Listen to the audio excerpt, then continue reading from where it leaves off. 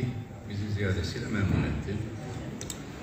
Hatay bizim siyasetimiz açısından çok özel bir ilimiz. Ee, Gelecek Partisi olarak e, politikamızı belirlerken ve parti programını yazarken partinin birinci cümlesi Gelecek Partisi'nin hedefi, amacı insanlık onurunu ayakta tutmak ve insan onurunu dayanmaktır. Hatay bu açıdan bakıldığında sadece Türkiye'nin değil, sadece Orta Doğu'nun değil, dünyanın da örnek olması gereken bir büyük birikimin tezahür ettiği, tecelli ettiği bir vilayettir, bir şehirdir. Her yönüyle. Daha Büyük İskender'in İskenderun'un kurmasından daha önceki asırlara kadar giden Antakya geçmişine kadar bölge insanlığın beşiği, medeniyetin beşiği olmuş bölge. Ve her zaman çok e, dinli, çok kültürlü, e, çok mezhepli, çok etnisiteli olmuş. Dünyaya açık bir şehir. E, Mezopotamya'yı, Anadolu'yu, Levant'ı tek bir alanda birleştirmiş, temsil etmiş bir şehir.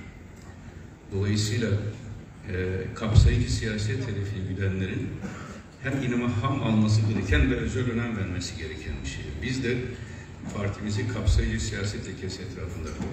Türkiye'de ne kadar inanç, düşünce, felsefe, mezhep, etnik e, kimlik varsa hepsinin tek bir çatı altında toplanmasını hedef edindi Gelecek Partisi ve bunu da büyük ölçüde başardı. Ee, ilk defa belki Cumhuriyet tarihinde Hristiyan vatandaşlarımızın doğrudan parti kurucusu olduğu tek parti Gelecek Partisi'dir. Rum, Ermeni, Süryani vatandaşlarımızın temsilcileri vardır. Aynı şekilde Sünni, Alevi, e, Türk, Kürt ve Balkan muhaciri, Kafkas muhaciri e, e, kurucularımız sadece bireysel temsil değil, aynı zamanda kurumsal olarak da bütün bu kimliklerin bulunduğu derneklerin temsilcileri olarak Gelecek Partisi'de bulundular. Ve şimdi hepimiz Gelecek Partiliyiz. Ve hepimiz Türkiye Cumhuriyeti'nin eşit vatandaşlarıyız.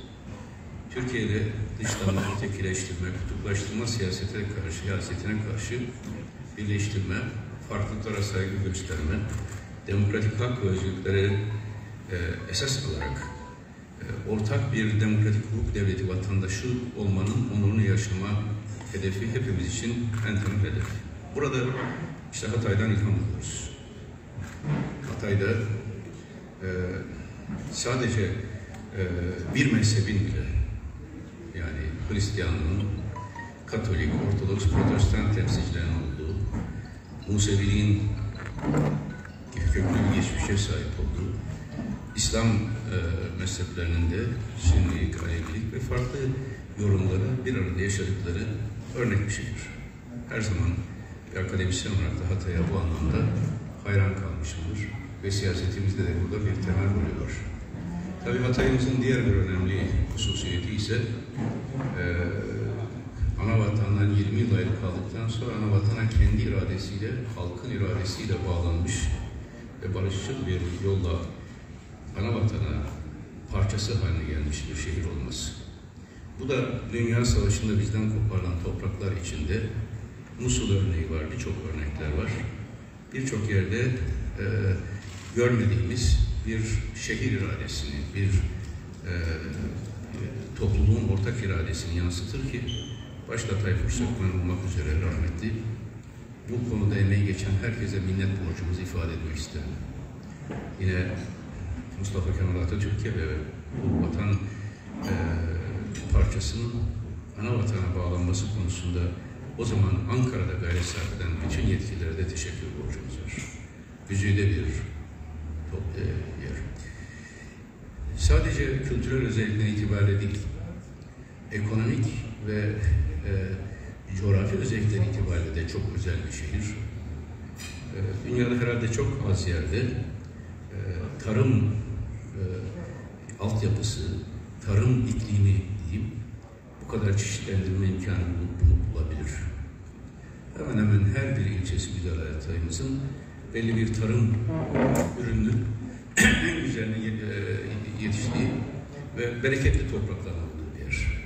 Ayrıca lojistik olarak da Türkiye'de İstanbul ve Mersin'den sonra üçüncü büyük tır e, stokuna sahip. E, olağanüstü e, tabii İskenderun limanının getirdiği avantajlarla da kalkınma potansiyeli çok yüksek bir şehir. Yani bütün bu özelliklerle Hatay'ın şu ana kadar Türkiye'nin belki ilk beş şehri arasına girmesi beklenirdi ve girmesi halinde de doğal karşılanması icap ederdi. Ama Hatay'ımızda birçok gerekçelerle e, bazı e, çalışmaların eksik kalması, e, yeterince stratejik planlamayla tarım gibi stratejik bir sektöre özel ağırlık vererek Hatay'ın e, imkanlarının genişletilememesi, bir takım uluslararası sorunların devreye girmesi dolayısıyla lojistik imkanlarının olmaması ama her şeyden önce de doğrudan Hatay'ın bütün bu potansiyelini ayağa kaldıracak bir siyasi irade eksikliği Hatay'ımızı bugün istediğimiz düzeyde geliştirmekten olamadı. Amanos tüneli hala 5 yıl önce bıraktığımız şekilde neredeyse duruyor hiçbir gelişme yok. E, Belen'e kadar gelen otobanın Hatay'ın diğer e, bölgelerine de uzaması konusundaki çalışmalar ve Hatay içindeki çevre yolu çalışmaları da büyük ölçüde e, istenen düzeyde gelmiş değil. Dün Antakya Ticaret Odası ve Sanayi Odası Başkanı e, Hikmet Bey ile çok güzel bir görüşme gerçekleştirdik. Bütün Hataylı meseleleri kendisinden de dinleme imkanı buldum. E, tabii Büyükşehir Belediye Başkanımız Sayın Lütfi Savaş Bey ile uzun bir görüşmemiz oldu. Gösterdikleri misafirperverlik dolayısıyla teşekkür ediyorum. Akşam yemeğinde de e, Hatay'ımızın kanaat önderlerini, e, Sünni, Alevi, e, Hristiyan, Ortodoks, Katolik kanaat önderleriyle birlikte bir akşam yemeğinde bir araya geldik. Orada da çok istifade ettim. E, gece de Hataylı gençlerle geçip vakit bir araya geldik ve uzunca bir oturum gerçekleştirdik. E, dün tabii kongremizi de yaptık. E, hayırlı olmasını diliyorum. Bugün e, bu toplantıdan sonra Samandağı, e, e, Reyhanlı ve Kırıkhan'a inşallah gideceğiz. E, bu birinci turumuz Hatay'ın Hatay'la ilgili. İnşallah tekrar gelerek eksik bıraktığımız ilçeleri başta İskenderun olmak üzere İskenderun'a özel bir program yapacağız. Başta İskenderun olmak üzere diğer ilçelerimizi de ziyaret edeceğiz. Ulusal gündemle ilgili söylenecek çok şey var ama onları sorulara bırakıyorum. Siz sordukça konu açılır. Buyurun.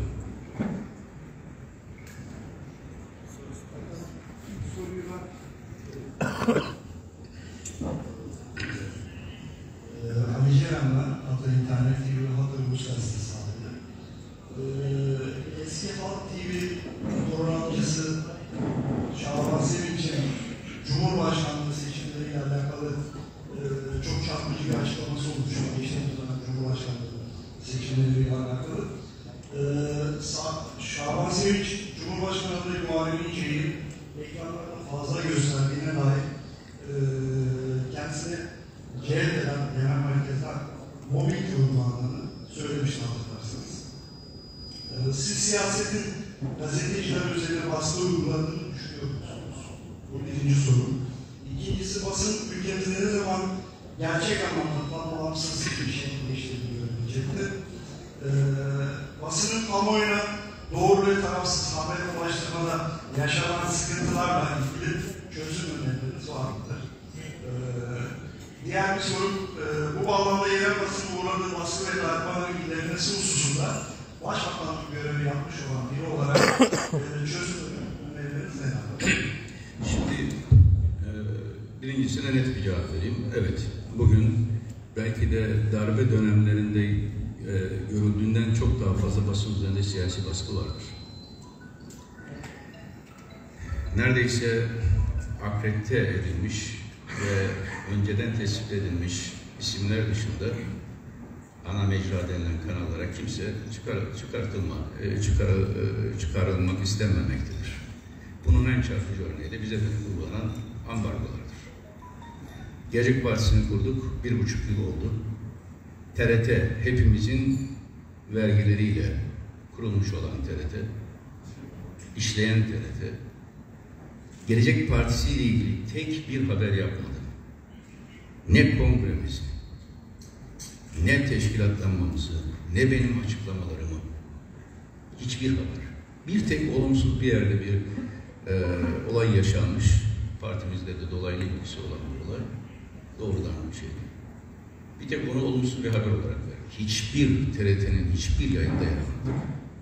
Hani ülkede başbakanlık yapmış ve geçmişte TRT'yi bugün yönetenlerin önünde e, saygı e, göstermek, e, ihtiram göstermek zorunda kaldıkları bir siyasinin kurduğu siyasi partiyle ilgili bile hiçbir haber yapılmıyorsa varın gerisini siz düşünün. Ama aynı TRT ve aynı diğer ana mecra diyebileceğimiz yapılar zaten onlarda da bizim hiçbir arkadaşımız Selçuk Özdağ saldırı oldu. Genel başkan yapmıştı. Bir siyasi seçi gün ortasında ölüm kastıyla başından darp edilerek yedi kişi tarafından alçakça saldırıya uğradı.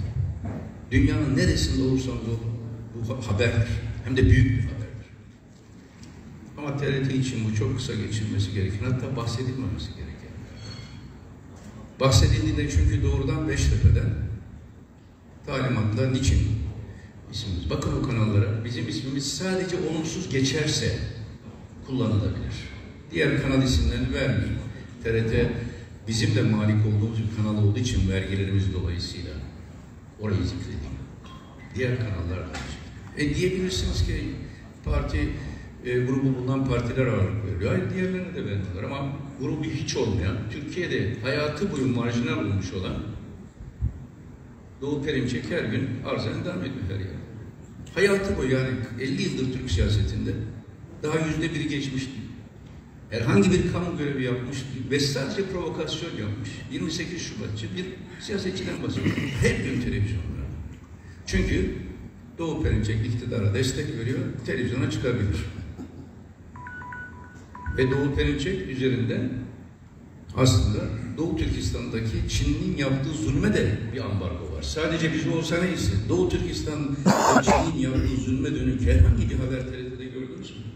Veya, veya diğer ana mecra denilen aslında ana değil köle mecra. Köle mecra televizyon kanallarında bir haber gördünüz mü? Yani ambargo sadece siyaselere dönük değil, konulara dönük de. İktidarın uygun gördüğü bir, yani bir zulüm varsa bir yerde iktidarın da işine yarıyorsa mazlum milletlerin sözcüsü olarak yani yok iktidarın işine yaramıyorsa kesinlikle susuz. Böyle bir basın ortamı hiç olmadı. Diğer marjinal birçok parti veya bir siyasi görüş sahiplerini zaten izliyorsunuz. Bizi bugün bu kadar sos, e, siyasi aktiviteye sevk eden, bakın değerli basın mensupları, bir haftayı doldurdum. 4, 5, 6, bu yedinci ilim bir haftada. Ve 6, 8, bugünkü tamamlamakla birlikte 13. ilçem olacak. Bir haftada. Geçen hafta bugünden bugüne. Ya hatta geçen hafta bugün de değil. Perşembe gününden. Yani Perşembeden Çarşamba 6 gün içinde Trabzon'a indim. Bayburt, Gümüşhane, Erzurum, İstanbul, tekrar Kocaeli 6, Hatay 7, Hatay'da 4 ilçe, Erzurum'da 6 ilçe, Bayburt'ta 2 ilçe, Kocaeli'de 1 ilçe. Niye bu kadar büyük bir eforla koştunuz? Çünkü madem ki onlar ambargo uyguluyorlar, biz o ambargoyu halkın içine doğrudan girerek aşabiliriz. Yüz kızartıcı bir tablodur sorduğunuz için teşekkür ederim. Ee, yerel medyaya dönük ise baskılar daha da fazla bunu biliyorum. Son olarak da tasarruf genelgesinde siz ne kadar çok memlekete yükmüşsünüz ya. Ben de bilmiyorum yerel medyanın memlekete bu kadar yük olduğunu. Tasarruf tedbirleri çerçevesinde belki de Türkiye'deki toplam yerel medyanın daha yapılan kamu alımları aylık bir danışmanın ek maaşı kadardır. Ama yerel medyalar kamu alım, kamu kurumlarının gazete alımları durduruldu. Daha önce de reklamlarla ilgili düzenleme yaptıklarında yerel medyayı susturmaya çalıştılar. Çünkü sizi tebrik ederim. Türkiye'de ulusal medyaya bu baskının uygulandığı bir dönemde basının özgür kalesi yerel medya oldu neredeyse. Her gittiğim yerde de mutlaka yerel basınla buluşuyorum. Her yerde.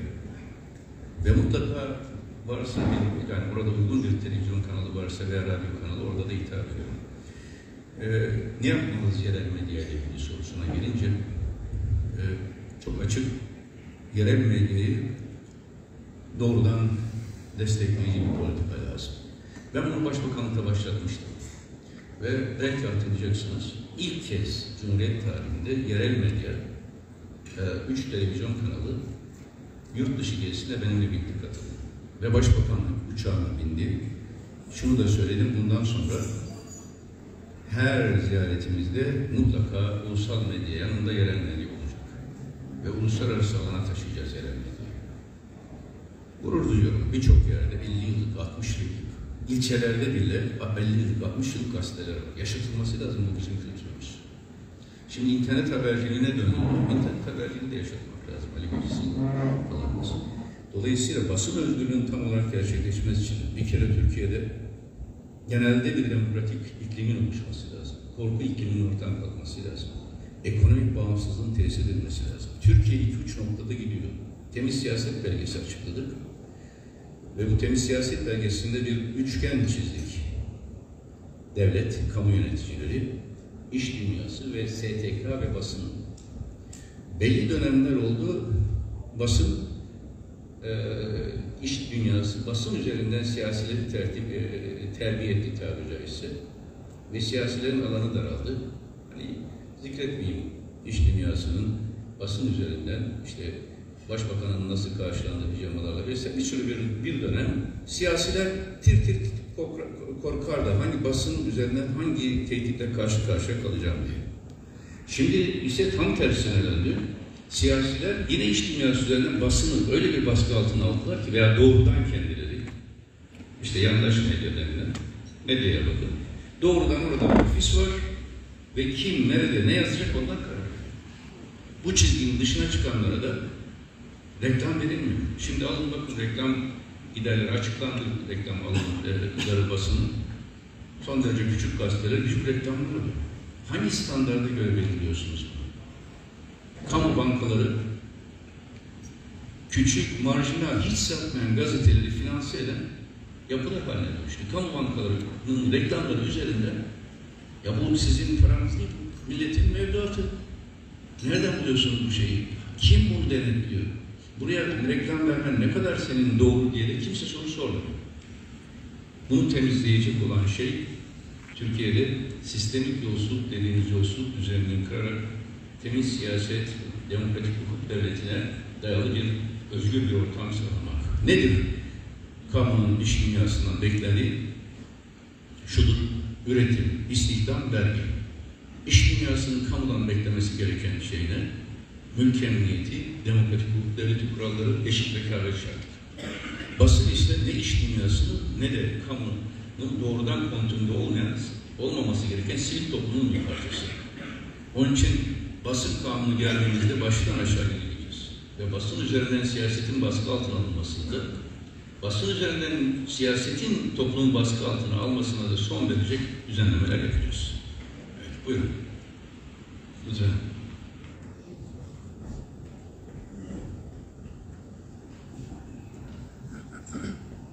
Biz söylemlerinizden şunu anladık. Yapan insan bile basının gücüne ihtiyacı var. Doğru mudur? Hepimizin ihtiyacı var. Gücüne değil basın özgürlüğüne ihtiyacımız var. Gücü, özgürlük ve etik kurallarla işlediği zaman güç kamu yararına kullanılır. Ve hepimiz için ihtiyaç. Düşünce özgürlüğü su gibi, ekmek gibi bir ihtiyaçtır. Ben bunu eski başbakanlık yapan biri olarak söylemem. Bir düşünce adamı ve bir göz, e, 90'lı yılların 28 Şubat şartlarında köşe yazarlığı da yapmış bir akademisyen olarak söylüyorum. Tuğba, Siz- evet, evet Tuğba Hanım. Ben Tuğba. Albanoğlu, bağımsız gazeteciyim. Ben önce farklı bir siyasi yapınızı bildiğim için bu soruyu soracağım. Dünyada bundan önce temiz eller operasyonu vardı. Bir savcı temiz ellerle bazı bürokratları temizleyip ülkeyi güzel günlerin göreceğini götürüyordu. Buna hepimiz şahit olmuştuk. Şimdi de ülkemizde çok ilginç bir şey. Hani reklamın iyisi kötüsü olmaz derler ama bir mafya reisi ülkeye düzen vermeye çalışıyor. Çünkü bazı kelimelere dikkat etmeye çalışıyorum. Çünkü söylenecek söz yok. Sözün bittiği bir yerdeyiz. Ben şunu sormak istiyorum. Sorularım biraz peş sıra olacak ama öncelikle e, siz mafya reisinin söylemlerini bir dönemde başbakan olduğunuz için bu duyumları almış mıydınız? Siz de bu duyumları bir safsata ya da halüsinasyon olarak mı görüyorsunuz? Diğer bir sorum da siz ara ara çıkışlar yaptınız. Ben konuşursam birilerinin yüzüne bakamazsınız, çıkamazsınız gibi. Ve bir dönem halk sizden bir umutlandı. Acaba ne diyecek, neler biliyor? Siz parti kurmayı deneyip belki de devletin kurumlarına zarar vermeme adına suskunluğunuzu korudunuz. Şimdi benim merak ettiğim ve toplumun merak ettiği bu parti kurmak, bu söylemlerin temelinde var mı?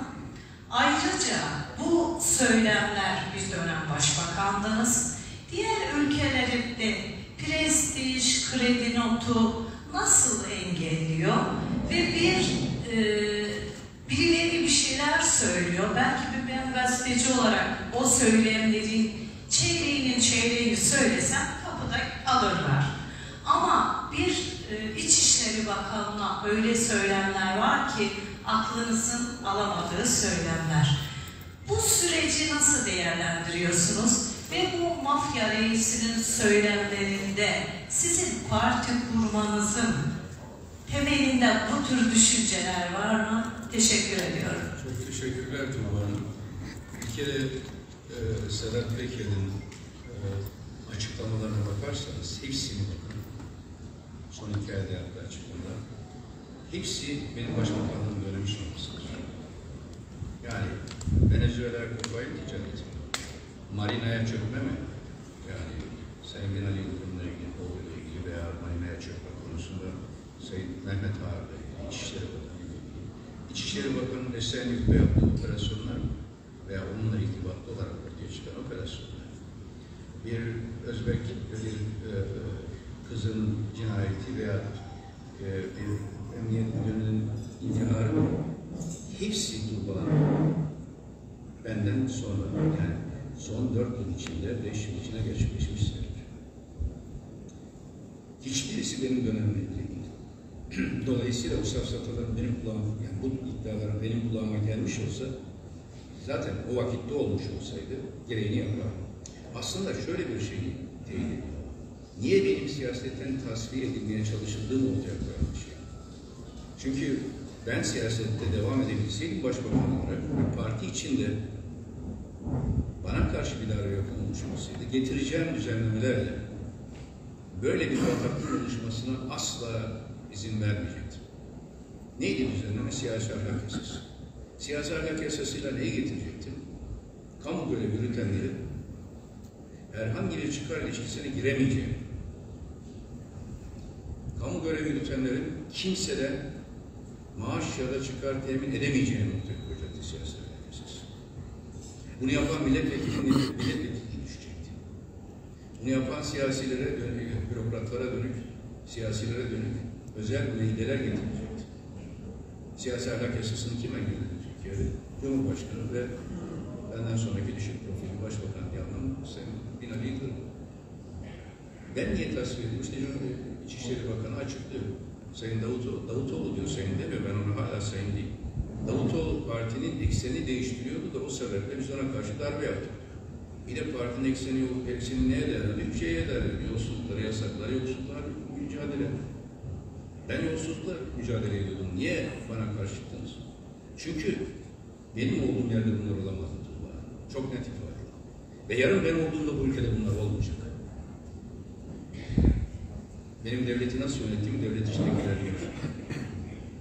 Bir gece kendi yakınlarını en yakında çalıştıran eee iki damadın, üç kızının, beş yeğenini birini nasıl görevden aldım herkes bilir.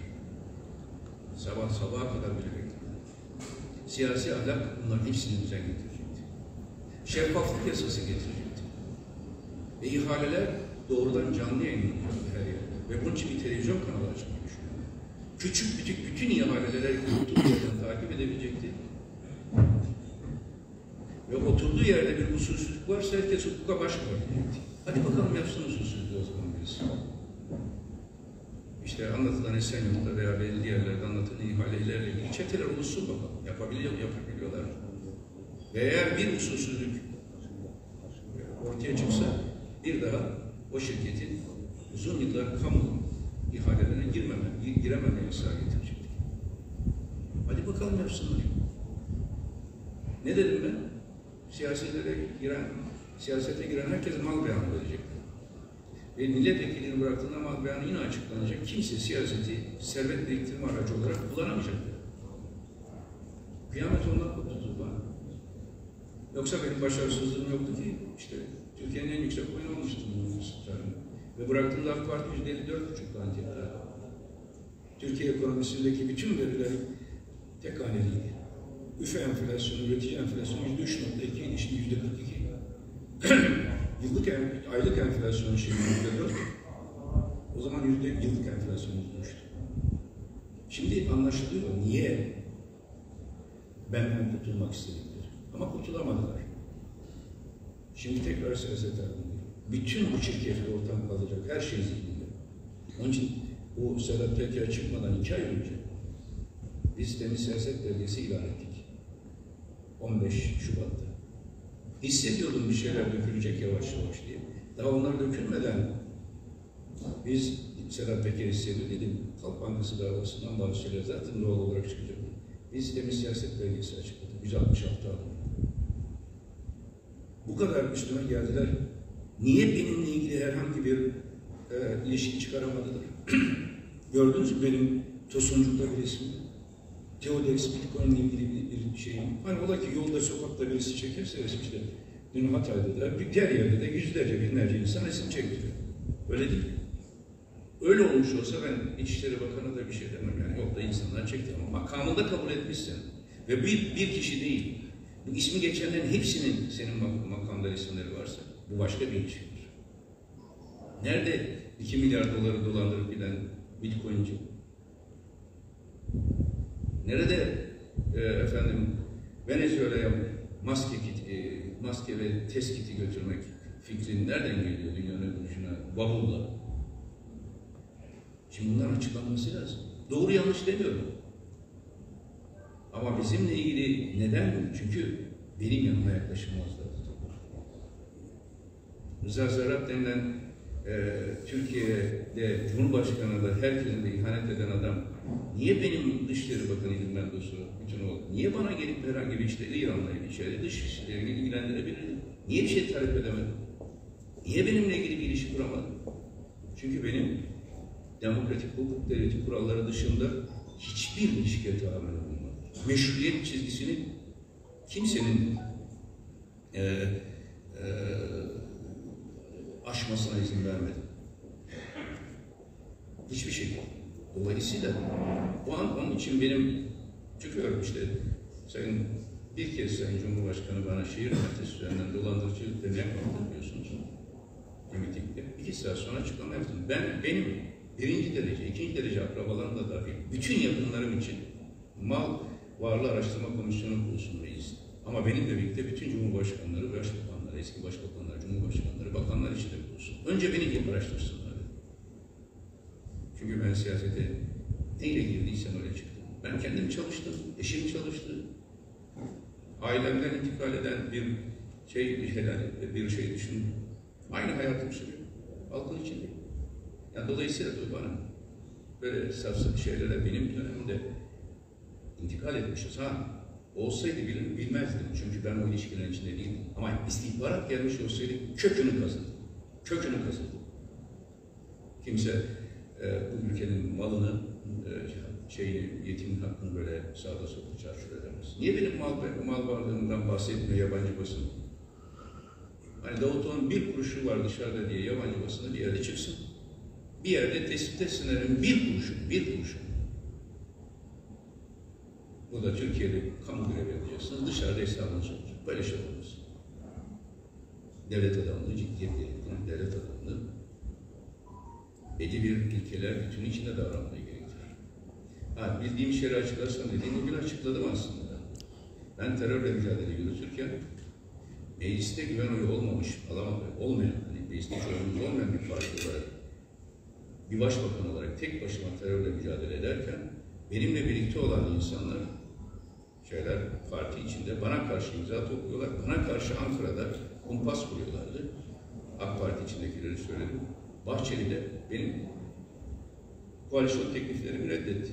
Sonra da bize yakın dönemde kayyum atamalarını eleştirdiğim için bana terörist bir ifa- o zaman yani iki, bu ifadeyi kullandığımda aynı gün bu ifadeleri kullandıkları için terörle mücadelede ben can siparişine hafta sonları bütün hafta sonları vatan saati Doğu, Doğu'da Güneydoğu'da vatandaşlarımızla ve Mehmetçiğimizle geçken siz Ankara'da benim aleyhime kumpas kuruyordunuz. Şimdi bunlar bilindiği için Bunlar artık aşina hale geldi. Süleyman Soylu açıkladı zaten. Ben o zaman bilinmiyordu bana karşı Süleyman Soylu'nun, Berat Albayrak'ın, Binali Yıldırım'ın bir imza kampanyası yürüttükleri bilinmiyordu ama şimdi artık biliniyor. O dönemde iki sene önceydi, tam iki sene oldu konuşmaları yapalı. İki sene önce bunlar bilinmediği için kastettiğim oydu. Her şey şimdi artık aşikar biliniyor artık. Peki bütün bunların eee Türkiye'de bir daha yaşanmaması için yapılacak şeyler biz size temin edelim e, Ufuk Bey e, şeyi 165 maddede temiz siyaset belgesinin Başbakan olsaydı buna hepsini yapacaktım. 5 yıl içinde Türkiye'nin nasıl bir rezaletle yumağına dönüştüğü ülke şartlarının ortaya çıktı. Şimdi iktidara gelirsek bunların hepsini yapacağım. Ve bunları bir tek benim biz yapabiliriz. Çünkü ben o devletin, devletin bütün kılcal damarlarını tanıdım. Bütün çıkar odaklarını biliyorum bir gün temiz eller gibi bir şey gerçekleşecekse bunu benden daha iyi, ben derken şahsı bunu öne çıkarmak için söylemiyorum. Gelecek Partisi'nden ama nihayet Gelecek Partisi yönetici olarak biz bütün bu çıkar odaklarıyla mücadele ederek sona kadar mücadele ederek buraya geldik. Yeni parti olma sebebim de ülkeyi düzgün yönetselerdi, akademisyen olarak hayata döner, şey, akademik kitaplarıma dönerdim. Başbakanlıktan sonra iki İngilizce, beş Türkçe kitap yazdım. İşsiz güçlü olduğu için siyaset yapıyor değilim. Rant elde etmek için de siyaset yapıyor değilim. Geldim geçtim ne rant elde ettim? Göstersene bir tek rantım. Bir tek yakının rantım. Bir tek yakının rantım. E şimdi tekrar niye gidelim? Niye parti kurduğunu sor yani onunla ilgili olarak söylüyorum. Çünkü bunu bir nöbet olarak görüyorum. Ve bu ülkeye, bu vatana, bu millete, özellikle gençlere bir borç olarak görüyorum. İnşallah gelecek nesle tertemiz bir Türkiye teslim edeceğiz. İşte onun için beyaz gömleklerimizi giyiyoruz. Bak hep beyaz gömlekli. Toplantılarda çıkarıyoruz ceketleri, bembeyaz bir tablo ortaya çıkıyor. Bu da beyaz gömlek hareketi. Peki, teşekkürler. Buyurun bir hanımefendiden daha devam edelim sonra. Çok Öyle mi? Ha böyle mi? Bir oraya bir oraya tamam. Kusura bakmayın. Şey dersin. Ali Solak. Sonra Soru soru. Değil mi? Değil mi? Mehmet Ali Solak. Aday Güney Rüzgarı Dergisi. Efendim şimdi e, bu son günlerde sizin de söylediğiniz gibi hem il gezilerine hem ilçe gezilerine ağırlık veriyorsunuz. E, bir seçim sahnına e, büründü Türkiye. Siz eski bir başbakan olarak aldığınız oyları da söylüyorsunuz, yaptığınız çalışmalarda. Türkiye için neler görüyorsunuz? Bu birinci soru. İkincisi, siz yarın bir seçim olsa e, hangi e, durumda kendinizi görüyorsunuz? Valla 1946'dan bu yana seçimlere bakın. Ee, Mehmet Bey. Ee, 1946'dan bu yana seçim, vaktinde yapılan seçim neredeyse istisnadır. Genellikle ülke zor şartlara girdiğinde halk soluk, soluk almayı veya bir ümit beslemeyi seçim üzerinden kurar. Ve en zor şartlarda halk sustuğu zaman veya konuşup eleştirmeye başladığı zaman bilin ki bir sonraki seçimde bir siyasi deprem yaşanır. Yani düşünün 27 Mayıs ihtilali olmuş. Ülkenin başbakanı, iki bakanı e, yasada e, ve imzalı şey, e, idam ama idam süreci işlerken Türkiye bir seçim yaptı. Halk tepkisini sandıkta gösterdi. 12 Eylül oldu. Evren açık bir şekilde o zaman MDP Milliyetçi Demokrasi Partisi'nin Turgut Sunal'ın bir parti başkanın arkasında durdu. Halk sustu. Seçim sandığın önüne gelmesini bekledi tepki göstermek için. sen tamam darbe yaptın anladık ama sen ne oluyorsun da bize karşı bunu yapıyorsun demeden seçim sandı.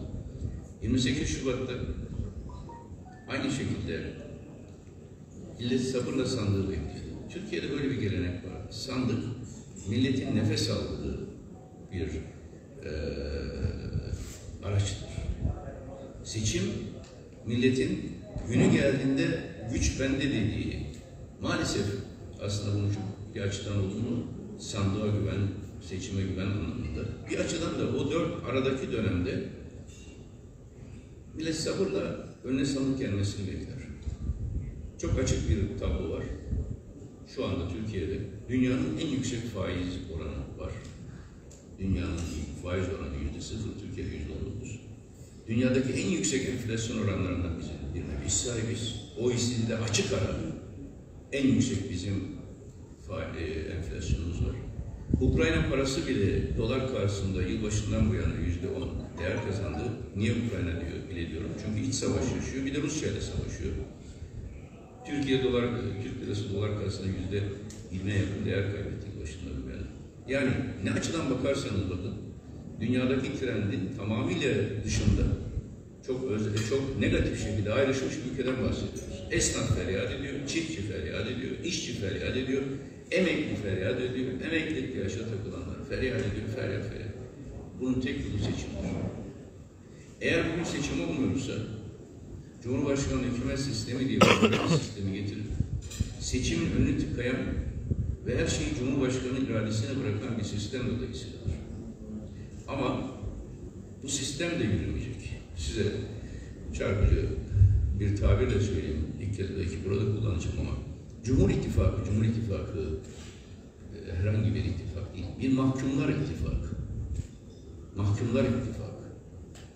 Sayın Erdoğan Bahçeli'ye mahkum. Çünkü mecliste çoğunluğu kaybediyor Bahçeli olmazsa ve hiçbir, çıkaramazsa halde Bahçeli Erdoğan'a mahkum. Çünkü oy oranıyla bir dahaki seçimde barajı aşması mümkün görünmüyor. Ve ayrıca karşılıklı çıkar ilişkilerinde kurduğu bir koalisyon. Yani bir vizyon koalisyonu Türkiye'yi bir yere taşıma ittifakı değil. Ve bu mahkumlar koalisyonu, mahkumlar ittifakı çatlamaya başlıyor. İşte hepiniz trajikomik bir şekilde Sayın Bahçeli 5 yıldır bana Serok Ahmet der saldırırken e şimdi Erdoğan'a da Diyarbakır'da Serok Erdoğan dediler. Bahçeli 3 gündür susuz. Gün tutuyorum artık. Bakalım Bahçeli ne zaman? Ey Erdoğan, Serok demekle terör, te, teröre Erdoğan'ı Serok dedirten güç kimdir? Maksadı nedir? Arkasında kim vardır diye ne zaman soracak bakalım? Sayın Bahçeli. Öbür tarafta Bahçeli korkusuyla Erdoğan İçişleri Bakanı görevden alamıyor ama İçişleri Bakanı savunmuyor. Öyle bir durumda ki kendi kabinesinde bir bakanlık değişimi yapamıyor. Yapsa iki soru birden gelecek. Uzun beklenti oldu. Aylarca niye kabine değil, kabine değişti, kabine değişti. Sonra küçük bir kabine değişti. O da Ruhsar Pekcan açık bir yolsuzluk yapmasaydı onu da yapmazdı. Ama Ruhsar Pekcan da iltifat edip teşekkür ederek gönderdi. Başka bir yerde olsa bir bakan kendi şirketinden e, mal almış olsa çok ağır müeyyideler alırlar hukuki olarak. Şimdi niye yapamıyor? İki soru için. Bir, Süleyman Soylu görevden alınacak mı, alınmayacak mı? İki, Berat Albayrak geri dönecek mi, dönmeyecek mi? Şimdi bu iki soruya cevap veremeyince Sayın Erdoğan kabine değişikliği bile yapamıyor. Şunun için bunu söylüyorum. Eğer bir mahkumlar koalisyonu var da taraflar birbirine mahkumsa iki tarafta dargın almaya başlar. Kendi çıkarını düşünmeye başlar. Türkiye'de Cumhur İttifakı, bir mahkumlar ittifakı, mahkumlar koalisyonu, birbirine mahkum anlamında söylüyorum. Hukuken mahkum değil. Haline dönüştüğü için ayakta kalabiliyor. E böyle bir tabloda Türk siyasetinin önünü açacak olan biziz. Ve dikkat edin, Gelecek Partisi aslına bakarsanız Türk siyasetinin önünü açtı. Herkes bunu kabul etmek zorunda. Başka hiçbir partinin böyle bir kredisi yok. Niye? 2018'de Türkiye'de iki parti kuruldu. 2019'da sadece iki parti kuruldu. e. Ve E, 19'da Aralık ayında biz üçüncü parti kurduk. Ondan bu yana 30'a yakın parti kurduk. Belki de geçti 30 şimdi. Biz dalga kıran gibi korku duvarlarını aşıyoruz. Arkadan gelenler o korku duvarlarının aşılmış daha iyi, rahat siyaset yapıyorlar. Biz cesaretle meselelerin üzerine gidiyoruz. 28, 128 milyar dolar sorusunu ilk biz sorduk. Yani Genel Başkan Yardımcısı Kerim Lok'a daha 11 milyar dolarken 2019'da bizim parti kurulurken sordu bu soruyu. Üstüne yani memleket hakkını korumak için. Önüm, bütün bu tablo e, şunu gösteriyor.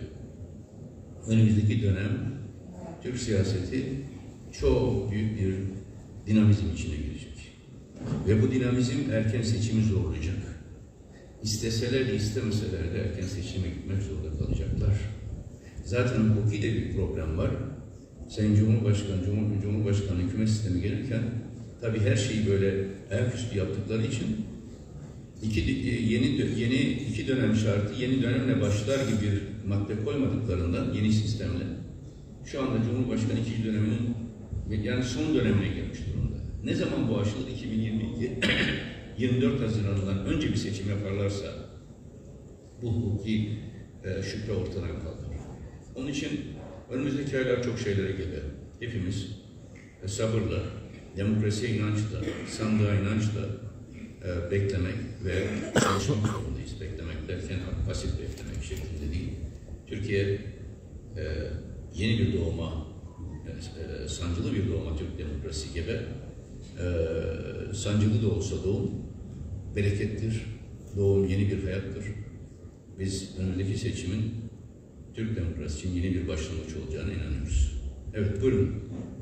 Buyurun. Hatay Son Haber Gazetesi Suna Zeytun. Öncelikle Hatay'a hoş geldiniz. Ayrıca Türk birinci e, olan kongrenizi gerçekleştirdiniz. Hayırlara vesile ediyorum. Çok teşekkür ederim Suna. Benim böyle bir sorum olacak. E, gerçekten Türkiye'de kanayan bir yaramız var. İşsiz ve atanamayan gençlerimiz. Bunlarla ilgili herhangi bir e, projeniz var mı? Tabii.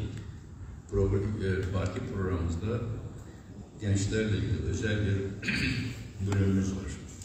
Türkiye'nin her yerinde gençlerin feryadını duyuyoruz. Şimdi hanım eğer bana sorsanız bu kadar siyaset tecrübesi, sadece Türkiye'de değil, yurt dışında, e, Avrupa'da ve bütün çevre bölgelerde bir ülke için en tehlikeli şey diplomalı işsizdir.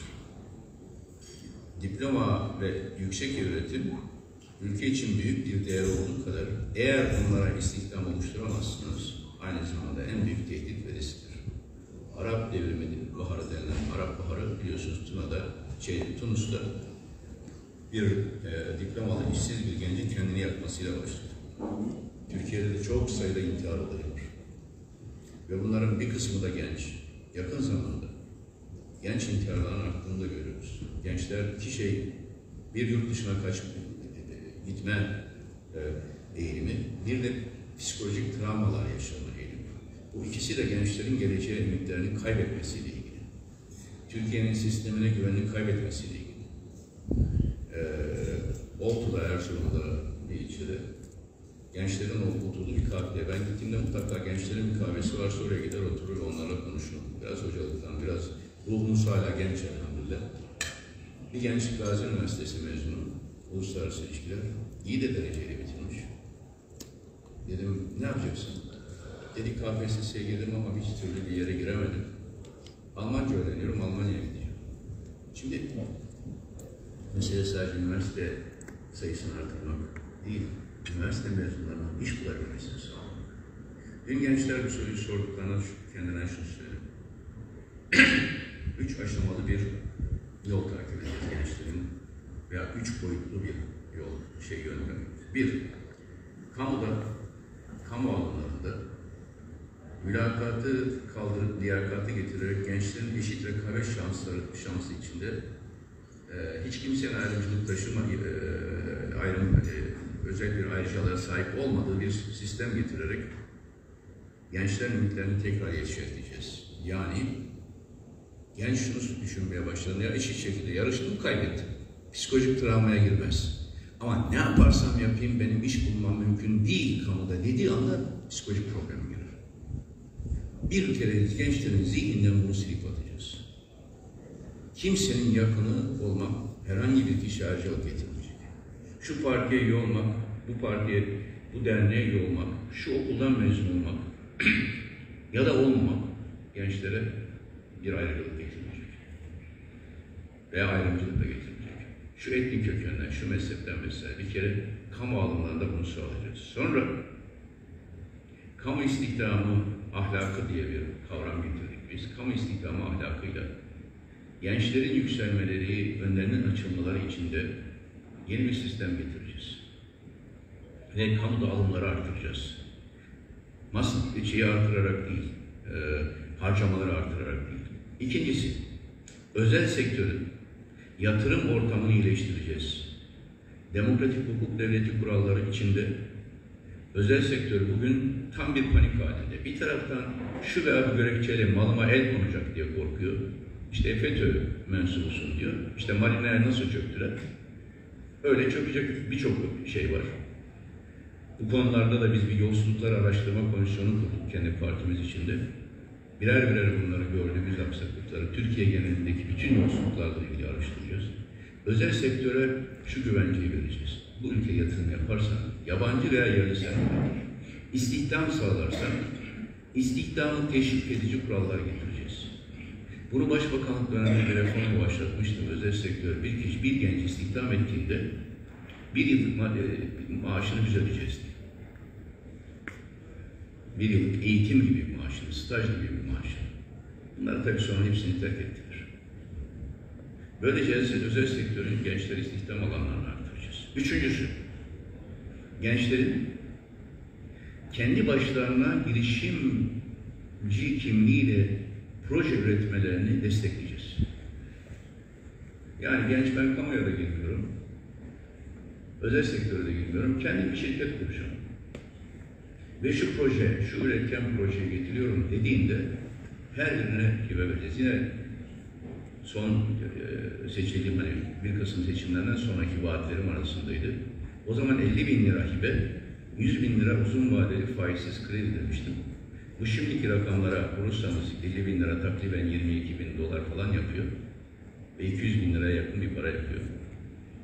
Şey, e, şeyde e, 500 bin liraya yakın faiz, faizsiz kredi anlamına geliyor. Tekrar onları da bunlara da oldular. Gençlerin bütün girişim potansiyellerini harekete geçirecek şekilde gençleri teşvik edeceğiz. Gençlerin kırsal kesimden e, şehirlere göç halinde akması ve oralarda işsizliği engellemek bakımından da gençlerin bulundukları yerlerde çiftçilik, organik çiftçilik ki tarım artık öyle geri kalmış, şehirleşememiş geniş kitlelerin alanı değil. Böyle görüyor bazen gençler. Çok düşük bir maaşla şehirde olmayı, yük- yüksek bir gelirle organik tarım yapmaya tercih edebiliyor. Gençlere genç çiftçi e, girişimi diye bir projeyle bu bereketli toprakların işlenmesi konusunda gençler özel ayrıcalıklar tanıyacağız. Ve tabii eğitim sisteminin de radikal reformlar gerçekleştireceğiz. Meslek, meslek eğitimini erken aşamalarda başlatıp gençlerin meslek edinmelerini üniversite sonrası döneme aktaran sisteme son vereceğiz. Ve bu konuda da akademisyen kimliğinin zihninde milli, bizim bütün bölge kabinemiz var. Milli Eğitim Bakanlığı da e, ilgili de bir kabinemiz, şeyimiz var, bakanımız. Eski YÖK Başkanı Yusuf Özcan ve ilgili arkadaşlar. Eğitim sistemini öyle bir reforma tabi tutacağız ki gençler erken aşamada meslek sahibi olacaklar ve organize sanayi bölgelerinin hepsinde meslek okulları açacağız. Doğrudan orada iş sahibi olacakları, meslek e, edinecekleri ve orada bu mesleği sürdürecekleri bir yapı kuracağız. Akademik hayata veya üniversiteye devam edip akademik hayata bilgi üretimine geçecekse de önünü açacağız. Ama devletten atama bekliyoruz diye milyonlarca gencin beklemesinin önüne geçeceğiz. Her geçen yıl bu artıyor. Dün burada çok etkilendim. Hatay'daki gençlerden biri bakın ne dedi Suna. Dedi ki ben çok önce duyunca dedim tamam bu bir maden var burada. Gerçekten de. Önce psikoloji okumuş genç. Gazi Üniversitesi'nde. Sonra tarih, tarih okumuş. Mimar Sinan Üniversitesi'nde felsefe okumuş. Sonra da Anadolu Üniversitesi'nde tarih okumuş. Yani psikoloji, felsefe, tarih ve işsizim. Üç diploma. Dedim ya sen akademisyen olmalısın. Bu kadar, kadar böyle her bir disiplinde bir şey yapıyorsan. Üniversitelere de girişmek için müracaat ettim ama başkalarını tercih ettiler. Şimdi bu gencin, bu maden adı Kemal, Hataylı Kemal, zihnimde. Bunun vebali bunların hepimizin omuzunda. Daha ne yapsın çocuk? O, şu şartlarda o öğrencinin böyle bir azimle 24 yaşında bunu yapmış birinin derhal bir üniversitede araştırma görevlisi olmasın. Başka yere gitmesine sıcak bakmam yani devlet, kamu görevi falan. Üniversitede araştırma görevlisi. Bu kadar farklı disiplinlerde yürümüşsün. Dolayısıyla gençlerimizle ilgili son derece kapsamlı e, bir perspektifle bakıyoruz. Bu üç alanda da inşallah gençlerimizin önünü açacağız. Burada bitti mi? Ha, orada buyurun buyurun. Buyurun. Buyurun. Orayı bitirelim size böyle geçeriz sonra. Hadi. Sayın Genel Başkanım, e, öncelikle kendimi tanıtayım. Hatay Alba Ajans sahibi, e, Milli İrade Gazetesi, haber müdürü, Doğuş TV moderatörü Seman Sarı. Maşallah Sema Hanım birçok ünvan bir arada. Dün de sizi böyle gayet dinamik gördük her yerde. Çok teşekkür ediyorum efendim teveccühünüz. Biz de sizi ağırlamaktan çok büyük gurur duyuyoruz. Öncelikle yerel basına verdiğiniz değer benim şahsım adına çok mutlu etti. Eminim arkadaşlarım da öyledir. Sayın, Sayın Genel Başkanım, aslında genelde de çok sorulacak soru var ama vaktinizi fazla almak istemiyorum. Yeni teşkilallanan bir e, parti olarak yerelde teşkilatınızı nasıl buldunuz Hatay genelinde? E, ikinci sorumda burada ittifak görüşmeleriniz oldu mu? Çok teşekkür ediyorum. Herhangi bir partiyle ittifak görüşmeleriniz oldu mu? Şimdi bu ilginç bir soru. İttifak görüşmesi olsa Ankara'da olur herhalde de. Yok. Ee, yok biliyorum. Ee, latife ediyorum. Ee, ittifakla ilgili kanaatlerimi daha önce çok ifade ettim.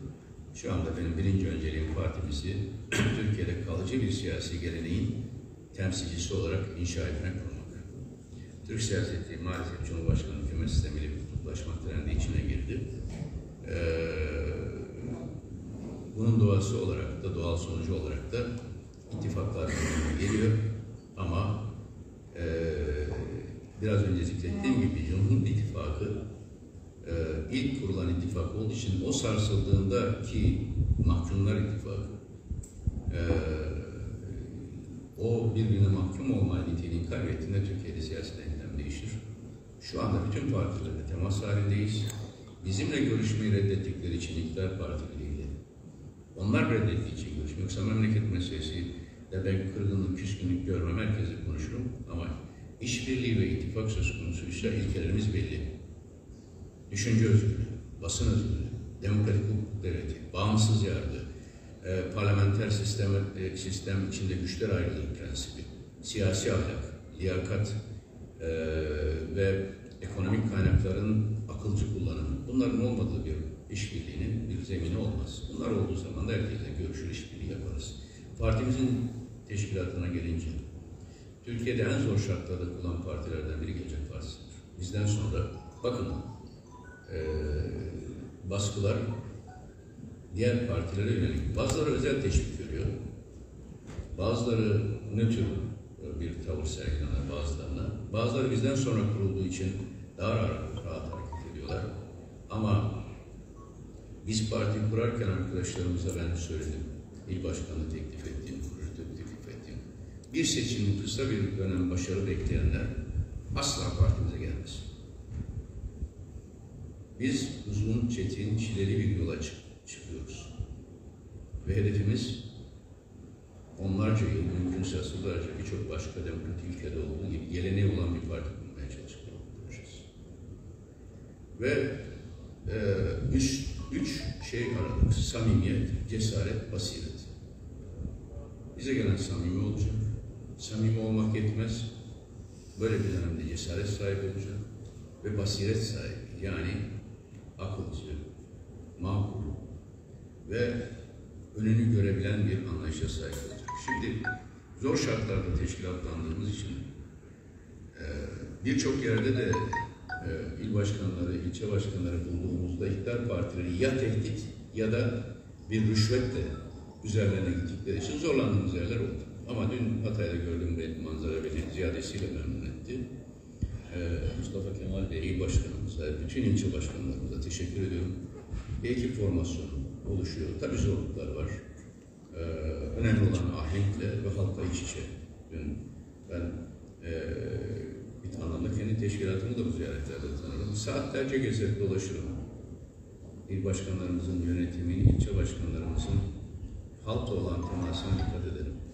Nasıl bir il kuruyorlar? Yani uzun çarşıda e, il başkanımızın, ilçe başkanlarımızın halkla kurdukları temas, yürüttükleri e, siyasette gösterdikleri cesaret beni ümitlendirdi. Çok baskı görüyor il başkanının başta olmak üzere arkadaşlarımız değişik şekillerde. Hatay'da da görüyorlar. Ama bir hareket baskı görüyorsa hele hele bir harekete liderine de genel başkanına da bir ambargo uygulanıyorsa üyelerine saldırılar yapılıyorsa bilin ki bir sonraki dönemin galipleri onlardır. Türk siyasetinde kim bir dönem baskı görmüşse bir sonraki dönem iktidara gelmiştir. 1946 Adnan Menderes rahmetli ve Ağa hepsi baskı gördüler. Bir sonraki iktidar. 1961 Ali Fuat Başkan'ın önüne silah koydu. Milli Birlik Komitesi üyeleri, Cumhurbaşkanı adayı olmayacaksınız. Süleyman Demirel işte Adalet Partisi, Yeni Türkiye Partisi'ne baskılar kurdular. Bir sonraki 65'te onlar iktidara geldi. İşte Özal'ın 83'te iktidara gelişini söyledim. Aynı şekilde AK Parti iktidara gelişi de 28 Şubat'ta baskı gören bir kitlenin kenetlenmesiyle oluyor. Şimdi de baskıyı biz görüyoruz, çileyi biz çekiyoruz, teşkilatlarımız çekiyor. Kısa dönemde rant elde edenler, etmeyi düşünenler buralarda barınmaz. Bu zor bir iş yani. Zor bir iş. İnşallah o zorluğun ardından bir kolaylık gelecek. Ben teşkilatımızdan memnunum. İl başkanımızla da dün konuştuk. Kalan ilçelerimizi de süratle tamamlayacağız. Ve bir üye kampanyasıyla da Hatay'ın en çok üye sahibi olan partiler arasında inşallah gireceğiz. Bütün ilçeleri tamamlayacağız. Dediğim gibi ikinci bir turla Hatay'a geleceğim. Özellikle bir ara İskenderun'a kısa da olsa gitsek diye düşünüyorum dedim. İskenderun başlı başına bir vilayet gibidir. İskenderun'a ayrıca özel bir e, ziyarete geleceğiz.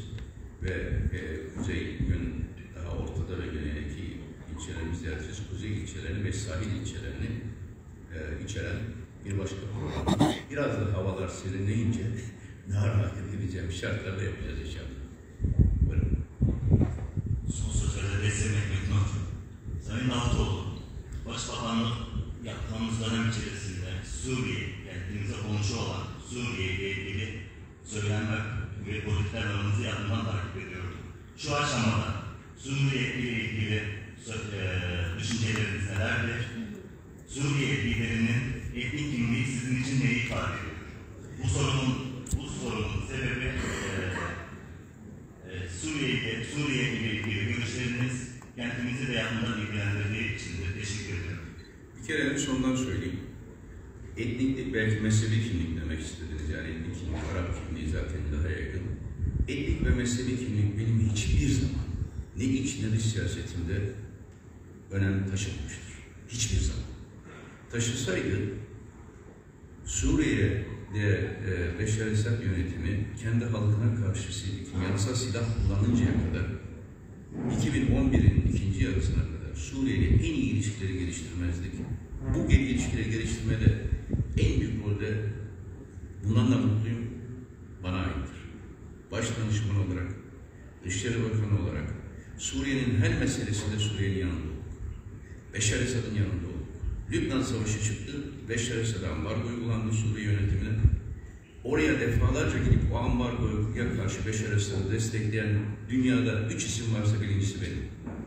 Tabii o zaman Başbakanı, Erdoğan'ın Cumhurbaşkanı, Sezer'in başlarda daha sonra Gül'ün teşvikiyle ama her başkan Hamas şey saldırıları, Filistin saldırıları olduğunda Suriye'yi destekleyen. Suriye'de devlet başkanı Beşar Esad. O derece aramızda güven ilişkisi var ki İsrail ile Arap uluculuk görüşmelerin tümünü ben yaptım Suriye'de. Yani etnik ve mezhebi kimliği hiç önemli değil. Bizim komşumuz. Ayrıca ben nasıl etnik ve mezhebi kimlik düşünürüm ki aynı etnik ve mezhebi kimlik ülkemde de mevcut. Bugün bizim Hatay Teşkilatı'nda da Ersin İl Başkanımız da yani siz etnik ve mezhebi kimlik diye söylüyorum. Gururla ifade ediyorum. Hiçbir kimlikten utanmaz. Arap Alevisi arkadaşlarımdır. Ve benim ailemdendir onlar. Dün Arap ya Alevisi, e, Ali Bey, e, Ali Yerler Bey misafirimdi. Ali Yaral. Yaral, Yaral, Yaral. Ali Yaral. Benim misafirim. Yemek boyu sohbet ettik. Gelenekleri konuştuk. Mehmet Bey, Orta Doğu coğrafyası kadim bütün gelenekleri barındırır. Orta Doğu coğrafyasında etnik ve mezhebi kimliği öne çıkarıp da siyaset yapanlar ateşle oynuyor. Ben bunu bilecek kadar tarih bilgisine de, siyaset bilgisine de sahibim. Hiçbir zaman, hiçbir zaman net söylüyorum. Kaldı ki Suriye'de de problem etnik ve mezhebi kimliğe dayalı hani istihbaratın, ordunun bir tek etnik ve mezhebi kimliğe dayanmasının doğurduğu sıkıntılar ölçüde. Yani güven. Biz bunu aşmak için de her zaman eee Suriye yönetimine yardımcı ol, olur olmaya hazırlık. Ne zaman problem çıktı? Hama'ya, Humus'a, Halep'e, hatta Laskiye'ye denizden topa tutup havadan varil bombalar atılmaya başlandığında bu artık etnik ve mezhep. Orada ölen varil bombaları, ölenlerin arasında Alevi de vardır, Sünni de vardır. Müslüman da vardır, Hristiyan da vardır. Bunu kim yaparsa yapsın, Saddam bunu Sünni olarak Irak'ta yaptığında ona da karşı çıktık. Değil mi? Yani Saddam Kürtleri Halepçe'de katlettiğinde Saddam'ın Sünni olup olmadığına bakmadı ki. Değil mi? Bizim ölçümüz bu. Özellikle Hataylı vatandaşlarımın bu konudaki samimiyetimizi çok iyi anlamalarını rica ederim. Çünkü Hatay'da Suriye hapishanelerinde olan hatırlarsanız Dışişleri Bakanı olarak geldiğimde 27 yıl Suriye hapishanesinde kalmış Hataylıları Beşar Esad'la görüşüp alıp getirmiştik. Özgürlüklerine kavuşmuşlar. Keşke Beşar Esad kendi halkıyla savaşmayı tercih etmeseydi. Keşke küçük reformlarla, küçük küçük reformlarla bile halkın daha barışık bir şekilde yaşasaydı ve Suriye bunları yaşamasaydı. Türkiye olarak da şimdi Başbakanlıklarını söylediniz. Avrupa Birliği ile mülteciler anlaşması yaptık. Bütün mesele Suriye'den Türkiye'ye gelmiş olan insanların daha iyi şartlarda yaşamasını temin etmek ve Türkiye'nin üzerindeki yükü azaltmaktı. O zaman 2 milyon civarında mülteci vardı. 1 milyon Avrupa Birliği alacaktı. Yeni kalan mültecilerin de Türkiye'de rehabilitasyon için Avrupa Birliği 6 milyar euroluk bir kaynak aktardı aktarmıştık. Biz de bize muafiyetini alacaktık karşılığında. Ama maalesef bizden sonra, benden sonra bunu iktidar bunu terk etti bu, bu şeyi. Ee, e, bunu terk etti e, iktidar. Avrupa Birliği ilişkileri geldi. Ne biz Avrupa Birliği'ne mültecileri gönderebildik düzenli bir şekilde ne de bize muafiyet alabildik. Eğer devam etseydi Başbakanım, Türkiye'deki mülteciler hem daha iyi şartlarda olurdu hem de Avrupa Birliği'ne gide gidenler de Türkiye'ye müteşekkir olarak giderler. İnşallah ve açık net doğru söyledim. Bundan birkaç ay önceydi. Suriye'de seçim yapıldı. Tabii. Göstermelik bir seçim. Ee, o seçim öncesinde çağrıda bulundu hükümet. Tam zamanıdır şimdi dedim. Rusya ile, Amerika ile, İran'la görüşün ve Suriye'de seçimlere adil bir şekilde yapılıp bütün mültecilerin de katılacağı bir seçim gerçekleşmesi için öncesinde bir geçiş süreci başlatıldı. Suriye'ye barış bir gün gelecek. O barışın gelmesinde Türkiye pozitif bir rol oynamak durumunda. Suriye devletinin gerçek anlamda kendi halkıyla savaştığına inanıyor musunuz? Devletinin gerçekten kendi halkıyla savaştığına inanıyor musunuz? Yoksa dış güçlerin bir oyunu olduğunu düşünüyor İkisi de var. Hiçbir olay tek boyutlu değildir Mehmet Bey. Evet, IŞİD denilen hain, e, barbar terör örgütü Irak'taki Amerikan hapishanelerinde çıkmıştır. Ama ne zaman? 2013'te. Nusra ne zaman geldi? 2013'te. 2011 ile 2013 arasında ne Halep'te, ne Hama'da, ne Humus'ta neredeyse savaş, yabancı savaşçı yoktu. Yabancı savaşçılar nereden geldi? Sadece bir kanattan mı? İranlı e, Şi- e, ve Afganistan'dan gelen Şii milislerine ne demek lazım? Rusya'nın götürdüğü Kafkanistan'dan, Kafkasya'dan e, Çeçenlere ne demek lazım? Bir ülke yönetimi kendi halkından koptuğu zaman yabancılar çöreklenir oraya. Yabancı dediğin şey sadece işit. Haçlı Şabi unsurları, Irak'tan, İran'dan gelenler, Afganistan'dan gelenler, Rusya'dan gelenler. Bugün Halep fiilen Rusya'dan gelen, Rusya'nın denetimindeki Kafkasya'dan gelen milislerin kontrolünde. Yabancılar karşı çıkacağınız zaman hepsine karşı çıkacaksınız. Ve Mehmet Bey, farklı siyasi görüşlere sahip olduğumuz ama da şeyde davranır. Vaka vakadır. Bir devlet, mesela Saddam Sünni olarak Irak'taki ki ben Necef'te, Kum'da bulundum. Necef'e giden, Kerbela anmalarına giden tek Dışişleri Bakanı benim. Türkiye'de değil, Irak dışında. Saddam havadan Kerbela'yı bombalasaydı, ki yaptı. Bu kendi halkıyla savaşmak olmaz mıydı? Veya Halepçe'yi bombaladığı gibi. Bir devlet kendi şehrini bombalamaz. Varil bombalarıyla. Halep'te, Hama'da, Humus'ta. Bunu engellemek için Beşar Esad'a saatlerce konuşan benim. Daha sonra Beşar Esad'ın başbakanı da açıkladı geçen birkaç önce. E, Beşar Esad, e, o dönemde başbakanlık yapan Zeyn Davutoğlu bize sadece pozitif öneriler getirdi. Sadece destek getirdi diye. Yüreğim yanıyor Suriye'de dökülen her kan için.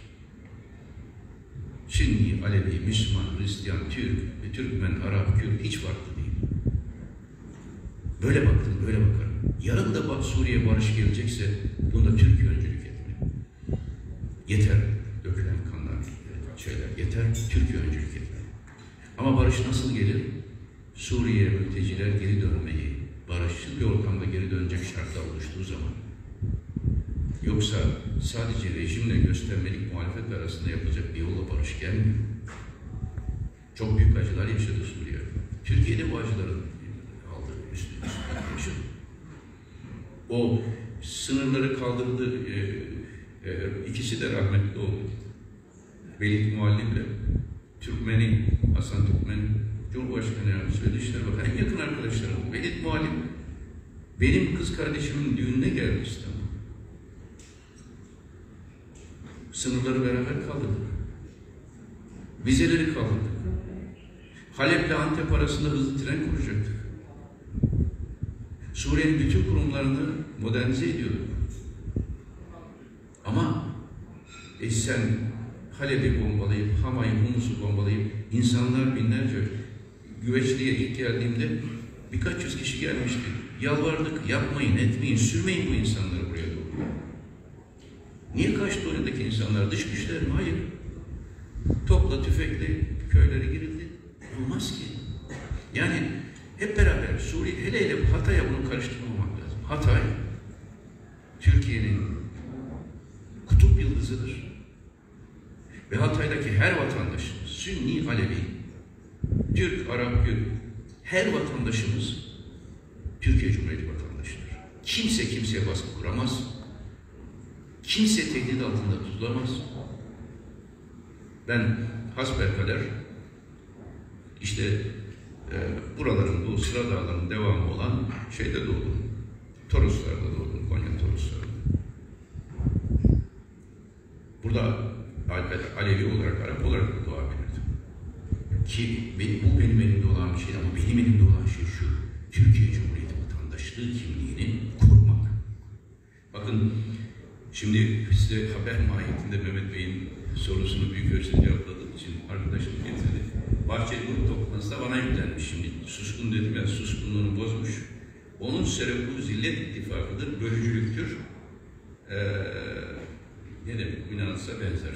Ancak Erdoğan'a sebep denilmesine de temas etmedi diyor. Hal orada. Şimdi düşünün, bana niye Serok dedi biliyor musunuz Bahçeli? Yani daha doğrusu Serok Ahmet dedi. Terörle mücadele devam ederken arkadaşlar, şimdi ben de buradan ona cevap vereyim.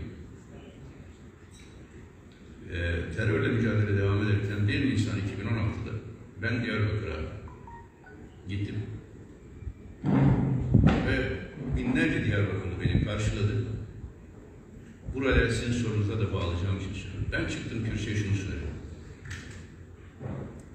Ben Toroslar'da doğmuş, yiğit e, bir Yörük Ailesinde doğmuş bir Yörük Türkmen çocuğu olarak bu ülkede ne kadar hakkım, hukukum varsa Dicle kenarında doğan yiğit Kürt aşırı çocuklarında aynı hak hukuk ve hukuku vardır. Ve benim Türkçem ne kadar azizse Yunus Emre'den gelen babaannem kullandığı Türkçe Dicle kenarındaki yiğit Kürt çocuklarının Kürtçesi de o kadar azizdir dedi. Ve bütün e, Diyarbakır Serok Ahmet diye tezahürat yaptı. O günden bugüne Bahçeli bana Serok Ahmet diye yüklenir. Ve ben de baş göz ederim. Bu toprağın her biri azizdir, her insanı eşittir. Şimdi yine zillet ittifakıdır, bölücülüktür. Nasıl bölücülükse, bölücülük yapanlar bu toprakların dillerine hürmetsizlik edenlerdir. Bölücülük yapanlar bu toprakların insanlarına hakaret diliyle konuşanlardır. Bölücülük yapanlar vatandaş, vatandaşlar arasında ayrım yapanlardır. Ben yine söylüyorum. Benim bir Sünni Türkmen çocuğu olarak sahip olduğum her hakla Kürt vatandaşlarım da çocuklara da sahiptir. Ne eksik ne fazla. Buradan hareketle Mehmet Bey söylüyorum. Benim Yörük Türkmen Sünni e, bir e, ailenin çocuğu olarak, bir çocuk olarak Türkiye Cumhuriyeti vatandaşı olarak hakkım neyse Arap Alevisi bir vatandaşımın çocuklarının hakkı aynıdır, ne aşağıdır ne yukarıdır. Ve Türkçe ne kadar azizse Arapça da o kadar azizdir. Sünnilik ne kadar ihtiramın, hürmet edilmesi gereken bir şeyse Alevilik de o kadar hürmet edilmesi gereken bir husustur. Müslümanlık ve Hristiyanlık için aynı şey. Çünkü esas olan insan insan. Şimdi zaten iki farklı siyaset burada doğuyor. Benim bu iktidardan ayrılma sebebim de. Bölgesel, e, efendim ırka dayalı, e, din milliyetçi bunları yok edeceğiz dedi. Hepsini birden ihya ettiler. Milliyetçilik vatanperverliktir. Bu topraklara bağlı olan herkes, vatanperverlik, yurtseverlik anlamında bu topraklar için çalışan herkes kutsal. Şimdi e, benim serokluğum zillet ittifakmış. Daha ortada ittifak yok. Kendisi bir zilletin içinde. Bir e, yolsuzluk zilletine tabi olmuş. Yolsuzluklara karşı e, e, mücadele edeceğini söyleyen Bahçeli, şu anda yolsuzluk zilletinin içindedir. Kendisi aynasına, aynaya bakmadan bize bir e, şeyde bulundu, tekrar saldırıda bulundu. Hiç biz bu anlamda insan onurunu, vatandaş onurunu ve Türkiye Cumhuriyeti devletin onurunu koruduk. Kendisi 24 Nisan'da Türkiye'yi soykırım olarak suçlayan Amerikan Başkanı karşısında sessiz kalma zilletine sessiz kalmıştır. Erdoğan'a dönüp de haddini bildirin bu adama diyememiştir. Zillet orada belli. Kendisi Doğu Türkistan'daki kardeşlerimizin zulüm görmesi karşısında sessiz kalan bir, bir iktidara sesinizi yükseltin dememiş, kendisi de yükseltememiştir. Çin karşısında zilletin adı Sayın Bahçeli'nin takip ettiği politikadır. Sayın Erdoğan'ın takip ettiği politikadır. İçeride de yolsuzluklar zilletinin parçasıdırlar bunlar. Bizde öyle bir zillet olmadı. Biz savunduğumuz ilkeleri yaşadık, yaşamaya çalıştık ve onun için mücadele ettik. Bölücülük ise dediğim gibi bölücülük Türkiye'nin vatandaşları arasında dil, lehçe, ırk, etnik, etnisite, mezhep ayrımcılığı yapmaktır. Biz Türk, Türkçenin Türkçe ve Arapça veya Boşnakça veya Arnavutça bize hitap eden herkese aynı muhabbetle bakarız. Bölücülüğe karşı mücadeleyi nasıl verdiğimizi halk bilir. Bundan sonra da her türlü bölücülüğe, zihniyet bölücülüğüne de karşı mücadeleyi sürdüreceğiz. Evet, bir soru daha var galiba. Bülent Çiftçi'yle arkasokakhaber.com Kusura bakmayın. Tamam. Bülent Bey sizden sonra hanımefendi veririz. Tamam. Arka sokak haber.com. Ne güzel, şey, dikkat çekici bir baş. İktidarın sürekli görüşme taleplerinizi e, reddettiğini söylediniz. Olası bir erken seçim veya 2023 seçimlerinde birinci tur geçilmez de ikinci turda iktidar size bir teklifle gelirse siz masaya oturacak mısınız? Faraziyeler üzerinde fikir beyan etmeyi uygun görmem. Ama bizimle masaya oturanın önce yolsuzluklarla mücadeleyi de samimi bir şekilde tavrını göstermesi lazım. Bizimle masaya oturacak olanın önce demokratik hak ve özgürlüklere saygı göstermesi lazım. Bizimle masaya oturacak olanın önce nepotizme, akraba kayırmacına veya türlü siyasi ahlak ilkelerine idare karşı tutum belirlenmesi lazım. Dolayısıyla e, bu tür bir bizim iktidardan görüşme talebimiz parlamenter sistem önerimizi paylaşmak için noktasal bir görüşme talebi. Yoksa iktidardan görüşme e, dilenme durumunda değiliz. Görüşmek için kapılarında bekliyor değiliz. Ama memleket konusu konuşacağız. Buyurun görüşelim dediklerinde memleket söz konusuysa her şeyi bir kenara koyarız. Bu destek anlamına gelmez. Düşündüklerimizi söyleriz, eleştirilerimizi yüzlerine yaparız ve kendi çizgimizi sürdürürüz. Öyle bir davetle yönünü yolunu değiştirenlerden olmadık olmayız. Olsaydık düşük profili başbakan olarak kalırdık. Hoş geldiniz Sayın Genel Başkanım. İstanbul Sözleşmesi ile ilgili neler düşünüyorsunuz? Kaldırılmaması için ne çalışmalar yürütüyorsunuz? Şimdi bu konuyu çok daha önce defalarca izah ettim. Bir daha söyleyeyim. İstanbul Sözleşmesi'ne imza atan Dışişleri Bakanı benim. Yani bu Türkiye Cumhuriyeti Hükümeti adına. Ama nihai kertede İstanbul Sözleşmesi'ni bu tanesi için bana yetki veren de daha sonra bunu yürürlüğe koyan da Sayın Erdoğan'dır. Ve Türkiye Cumhuriyeti Hükümeti'dir. Mecliste geçmesini sağlayan da bütün partilerdir. Ve tek bir kişi dahi bu sözleşmeye o zaman itiraz etmedi. Sayın Erdoğan her aşamada da kadına karşı şiddet konusunda sözleşmeyi savunan açıklamalar yaptı. Sayın Erdoğan'a yakın STK'lar da bu açıklamaları sürdürdüler. Ama şimdi e, İstanbul Sözleşmesi'nin son derece yanlış yorumlanması ve sanki aileye tehdit oluşturduğu gibi bir algı üzerinde muhafazakar kitleleri e, konsolide etmek için Sayın Erdoğan da bunu kullandı. Kullandı e, ve daha önceki tutumunu da değiştirdi. Ben İstanbul Sözleşmesi'nin bir uluslararası sözleşme olarak aile e, ye, e, aileye tehdit teşkil eden bir nitelikten daha çok kadına karşı şiddeti ve aile içi şiddet engellemeye dönük bir sözleşme olduğu kanaatindeyim. Aksamalar, yanlışlıklar bir takım uygulamalarda söz konusu bu sözleşmeden değil, 6284 sayılı yasadandır. 6284 sayılı yasa orada dururken İstanbul Sözleşmesi'nde e, her şeyi sanki e, bir günah keçisi gibi oraya yüklemek doğru da değil. E, aile yapısını korumak bizim için esastır. Aile yapısını korumak da bir sözleşmesinin, sözleşmenin varlığı ya da yokluğuyla değil, aile değerleri konusunda da güzel örnekler, güzel ve yasal çerçeveler oluşturmakla söz konusu olabilir. Daha bu hafta çocuk istismarına dönük olarak çocuk istismarcılarının cezalarının hafifletilmesi gibi bir yasa geçirdiğiniz zaman aile esas darbe orada bulursunuz. Çocuklarımızı koruyamadığımız, kadınlarımızı koruyamadığımız zaman ailemizi koruyabilir miyiz? Türkiye sözleşmeden bir Temmuz itibariyle çekilmiş oldu. Yani kalkmaması için diyorsunuz çekilmiş oldu. Ama Türkiye'de kadın e, aile şimdi daha mı emin ellerde? Yani aile, aile korunmuş mu? Şu anda Türkiye'de aileye dönük bir tehdit, bir risk, bir bozulma, çürüme yok mu? Ya da İstanbul Sözleşmesi'nden önce yok muydu? Aileyi koruyacak olan bizim to toplumsal değerlerimizin yaşanır kılınmasıdır.